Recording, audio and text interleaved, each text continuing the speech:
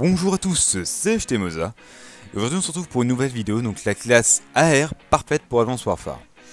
Alors je vais vous présenter la classe euh, au fusil d'assaut parfaite pour ce Advanced Warfare. Euh, un peu comme je l'avais fait sur euh, Ghost avant pour les SMG pour les AR dans une seule grosse vidéo. Là je vais en faire une un peu plus courte mais seulement pour les AR. Euh, donc on est parti. Donc les AR sur Advanced Warfare, il n'y en a pas tant que ça par rapport à Modern Warfare 3, etc. Euh, il y en a seulement 3 automatiques. Donc la balle 27, la fameuse balle 27, qui fait couler beaucoup d'encre, d'encre virtuelle sur, euh, sur, son efficacité, parce qu'elle a vraiment beaucoup de cadence de tir, elle est plus élevée que les SMG par exemple. 14 en points de cadence de tir pour la balle 27, alors que toutes les SMG sont en dessous sauf la SAC un petit peu euh, au-dessus. Donc voilà, la balle 27 a une très très grosse cadence pour pas beaucoup de recul, et qui est vraiment très efficace au corps à corps. Et je vous la conseille euh, pour le moment, tant qu'elle n'est pas patchée. Pour ceux qui ne savent pas bien jouer à, sur ce Advanced Warfare, qui ont un ratio euh, pas terrible. Donc vraiment, je vous la conseille. si vous vous en sentez pas du tout, si vous n'êtes pas allé sur le jeu, je vous la conseille, mais sinon n'en abusez pas. Ensuite, il y a la, la qui est un fusil d'assaut euh, de Ghost euh, très connu. Voilà, la qui est toujours une arme automatique. Et l'HBA3, l'HBR-A3, pardon, qui est euh, le troisième fusil d'assaut automatique de ce Advanced Warfare. Les autres sont l'Aerix qui, est un fusil d'assaut. il, a le même physique que celui de Ghost. Sauf qu'il n'est pas euh, comme Ghost, parce qu'il n'est pas automatique. Il est en rafale de 3 coups. Euh, pareil pour euh, l'IMR, qui est lui en rafale de 4 coups. Et ensuite la MP14, la fameuse MP14 très connue des joueurs, qui est coup par coup, donc semi-automatique. voilà, donc c'est 6 fusils d'assaut. Les 6 fusils, d'assaut de ce Advanced Warfare et les 3 primordiaux, les 3 plus utilisés sont la balle 27 en top 1, la K12 en top 2 et l'HBR3 euh, l'HB AR3 en troisième position. Donc voilà, donc moi je vous conseille d'utiliser euh, bah, l'un d'entre eux, l'un de ces trois fusils d'assaut. Euh, moi en, ce moment je monte cette arme en or, donc la K12, j'ai déjà monté la balle 27 en diamant, donc je l'utilise absolument plus. Donc pour le moment j'utilise la K12 avec les accessoires suivants. Donc le microphone parabolique qui est vraiment très utile parce que les gens ne font pas attention, euh, enfin beaucoup de gens utilisent les silencieux, donc vous les voyez pas sur la carte, vous les entendez juste vite fait à l'oreille, vous les voyez pas sur la carte, vous savez pas où ils campent, et grâce à ce microphone parabolique, vous savez exactement où ils campent, ils sont repérés sur votre carte et vous êtes vraiment tranquille. Euh, enfin, quand vous faut mettre absolument le microphone parabolique sur votre fusil d'assaut, c'est obligatoire, vous n'avez pas le choix, faut le mettre. Pareil pour la poignée ergo, parce que la poignée ergo, euh, bah, ça vous sert à viser plus vite tout simplement, donc vous gagnez plus vite vos duels. Quand vous sautez, vous visez plus vite aussi en l'air. C'est vraiment... Euh, le problème du fusil d'assaut, c'est qu'il vise pas très vite. C'est qu'il est bien de loin et tout, mais à, courte portée, enfin, il n'a pas beaucoup de cadence. Donc pour gagner des duels, c'est chiant. Et il vise pas très vite. Donc c'est ces deux principaux euh, défauts. donc faut vraiment mettre la poignée ergo plus le microphone parabolique. Et sur ce jeu, je vous conseille de mettre trois accessoires. Euh, parce que sur Ghost, il fallait pas en mettre, ça coûtait très cher en atout et pour mettre euh, juste un viseur laser ou un truc dans le genre, euh, c'était pas vraiment utile. Alors que sur ce jeu, on a plus de choix d'accessoires. Enfin, le microphone parabolique, c'est pas vraiment un choix. Enfin, c'est pas vraiment un choix. C'est pas vraiment un accessoire, c'est plus. pour moi, c'est plus un atout. un atout pour, voir où sont les silencieux. Donc, je le considère pas tellement comme un accessoire, mais bon, faut vraiment le mettre. Sur ce jeu, c'est un accessoire, donc faut le mettre, c'est obligatoire. donc voilà. Ensuite, je vous conseille de mettre la poignée. Pour avoir un peu plus de précision sur la K12, c'est pas utile, mais sur la balle 27, c'est obligatoire, surtout qu'il n'y a pas trop, trop d'autres personnalisations, trop d'autres accessoires, donc je vous conseille vraiment de mettre ça. Euh, la poignée avance sur la K12 et surtout sur la balle 27. Et ensuite, si vous voulez pas mettre de poignée, euh, je vous conseille vraiment le grand cap ou euh, la crosse si vous, si vous vous sentez mieux avec. Mais, mais voilà, c'est mieux de mettre la poignée. Si vraiment, comme elle n'a pas beaucoup de balles, elle a que 30 balles et il faut pas mal de balles pour tuer quelqu'un, euh, si vous voulez mettre le grand cap, mettez-le, je vous le conseille aussi. Mais euh, priorité à la poignée avant. Ensuite, en arme secondaire, comme d'habitude, pas, pas d'armes. Pas d'armes secondaires. Depuis Modern 3, les armes secondaires, c'est plus ce que c'était, à part, euh, le PDW, non, c'est comment il s'appelait le, le truc euh, sur BO2 là, qui était pas trop mal, vous voyez de quoi je parle. Euh, il était un peu, un petit peu dessus des autres, mais enfin, vous voulez mieux pas le mettre. Donc depuis BO2, franchement, moi je ne mets rien du tout. Je mets le couteau de combat, c'est très, c'est très bien, c'est ce qu'il faut mettre et, rien d'autre. Euh, ensuite, entre tous les atouts enfin, maintenant c'est comme sur Modern 3 et BO2, il y a des atouts, il y a des catégories pour les atouts, c'est plus comme Ghost. Donc je vous conseille de mettre en atout, en atout 1 euh, profil bas parce que tout le monde joue au drone. Euh, peu de gens jouent à autre chose que le drone parce qu'ils n'arrivent pas à faire d'autres séries. Euh, voilà, donc je vous conseille vraiment de mettre profil bas parce qu'il va y avoir minimum, et quand je dis minimum, il y en aura forcément un qui va sortir en face un drone. surtout s'il met un soutien, voilà, il y en a beaucoup qui le mettent en soutien pour être sûr de l'avoir. Donc, mettre profil bas, c'est obligatoire. Atout 1, profil bas. Ça s'arrête là, le reste ça sert à rien ça sert vraiment à rien. Euh, danger proche c'est nul, euh, faut pas le mettre. Euh, surchargé, comme je vais vous dire, ne pas mettre d'exosquelettes parce qu'ils sont vraiment pourraves. ne pas mettre surchargé parce que ça sert à rien. gilet par balle, vu les modes dans lesquels je joue, ça sert à rien. Mais après, ça peut peut-être servir parce qu'il est très efficace et il y a plus, enfin il y a pas mal de grenades qui sont lancées, mais il n'y en a pas tant que ça. On peut vraiment les esquiver rapidement. Euh, c'est bien oui et non quand vous voulez jouer en mode objectif et vous voulez vraiment rester sur un point fixe pendant quelques secondes. Il peut être bien, mais mais faudra pas le remplacer. Il faudra l'ajouter, mais pas remplacer à profil bas, ça c'est sûr. Et puis poids plume, euh, on court déjà assez vite. On a, marathon intégré, donc euh, voilà, mettre vraiment profil bas de base. Quoi qu'il arrive, enfin de base, hein, il n'y a pas de spécialiste, donc du coup, mettre profil bas, on a tout. Hein. On a tous deux mettre invisible. Pourquoi? Parce que euh, bah, les gens souvent ils mettent euh, le colis stratégique en soutien et ils débloquent une merde. Euh, un missile ou je sais pas quoi, ou des fois il y en a qui jouent le missile et qui l'ont.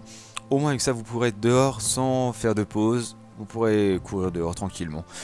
Et vous serez à l'aise. Après fonceur ça sert à pas grand chose, je, vous le dis, je l'ai testé, visez plus vite. Enfin, vous, gardez votre arme viser, mais ça sert à pas grand chose en vrai, je vous le dis, c'est vraiment c'est nul pour le moment. Il n'est pas très efficace. Pareil pour main lest, euh, normalement vous changez pas d'arme et le vitesse de, rechargement c'est pas trop un problème, donc du coup vraiment invisible c'est ce qu'il faut mettre. C'est vraiment ce qu'il faut mettre en atout 2. Il y a le périphérique qui est pas mal pour avoir la carte comme sur Ghost en rectangle et pas en carré comme sur les sur les autres Call of et sur celui-ci. Euh, bah pour avoir la carte de Ghost en fait rectangulaire, large, grande, ces statues là mais voilà, c'est pas tant utile que ça, vaut mieux mettre invisible et pouvoir euh, faire cette série tranquillement. Donc ensuite, euh, pareil, impulsion furtive obligatoire. vous avez pas le choix, faut mettre impulsion furtif. C'est, vous voyez Ghost, on entendait les bruits de pas à 10 000 pieds. Enfin 10 000 pieds, on entendait les, bruits de pas très très loin. et du coup, faut les mettre silence de mort de base obligatoire, quoi qu'il arrive. Tu, tu, faisais, tu te mettais en assaut, silence de mort, tu faisais n'importe quoi, silence de mort c'est obligatoire. Là, impulsion furtif, c'est pareil. De base, enfin, on a tous trois, faut le mettre, quoi qu'il arrive. C'est le silence de mort de ce jeu. Comme les bruits de pas sont, sont absents. Euh, dès dès que tu feras un dash, dès que tu feras une glissade, dès que tu feras un saut, dès que tu feras n'importe quoi, t'es repéré sur la carte. Donc, il faut mettre ça tout, euh, on a tous trois, il est obligatoire. Il est obligatoire. Il n'y a pas le choix, faut le mettre. Et ensuite, un deuxième atout qui est aussi obligatoire pour faire des séries, c'est bien évidemment pillard. Pillard qui est vraiment obligatoire si vous voulez faire votre série avec votre arme et pas ramasser des armes euh, plus ou moins bidons dans lesquelles vous n'allez pas vous en sortir. Euh, il faut mettre pillard pour récupérer des balles forcément et avoir un chargeur plus grand. Donc c'est un peu un chargeur à bloc euh, pillard réuni. Et le pillard pour faire une série DNA, une série autre, il faut mettre pillard. Si vous visez une longue série de plus de 4, il faut mettre pillard. Quoi qu'il arrive, pillard, pillard, pillard. Voilà. Ensuite, en exo compétences, comme je vous l'ai dit tout à l'heure, euh, ça sert à pas grand chose les exo compétences. Euh, surchargé, euh, c'est quoi? Surcadençage, etc. C'est plutôt pas mal. mais ça dure qu'un temps. Et oui, si vous visez une série plus de 30, ça vous fera pas la série entière, ça vous fera 10 secondes dans votre série. Donc il est vraiment très très peu utile. Enfin, tous les exosquelettes sont très courts, plus pour certains que d'autres, mais, mais voilà. Ne pas mettre d'exo compétences euh, sur vous, ça ne sert à rien, ça prend une place pour un truc qui va durer 10-15 secondes, pas plus, même moins pour certains, donc ne pas mettre d'exo-compétences. Ensuite, les exo-lanceurs, pareil, comme d'habitude, les grenades et les trucs dans le genre qui vous prennent une place pour faire peut-être un kill, pour lancer une grenade sur un objectif, je sais pas quoi, faire un kill ou deux, pas plus. Euh, et encore, c'est pas sûr parce que moi j'en fais un. Euh, quand, quand, je passe mon prestige, je fais un kill sur 40 euh, grenades lancées, donc ça sert vraiment rien, ça prend de la place pour rien. Ensuite, on va passer directement aux séries d'élimination. Les séries d'élimination, on n'a pas tant que ça, on peut, les personnaliser, mais ils sont pas très efficaces et sont assez durs à débloquer. Par exemple, le drone, 400 points, 400 points, ça fait dans un mode objectif. Si on joue pas l'objectif, ça fait 8 kills à l'arme de base, donc c'est assez énorme par rapport aux autres codes, c'était de 3. Donc voilà. Euh, donc quand même, je vous conseille de le mettre. Euh, ce sera toujours efficace avec tant bonus qui vous il durera forcément plus longtemps et c'est plutôt avantageux pour repérer les ennemis un peu plus longtemps, ça dure euh, 10-15 secondes de plus il me semble, je sais plus exactement, en tout cas c'est efficace et faut le mettre. Et point bonus, euh, comme ça au lieu de 10 points d'assistance quand vos alliés feront un kill, vous en gagnerez 15 et en plus grâce au temps bonus vous le gagnerez plus longtemps. Donc ça vous aidera à avoir vos kills donc au-dessus.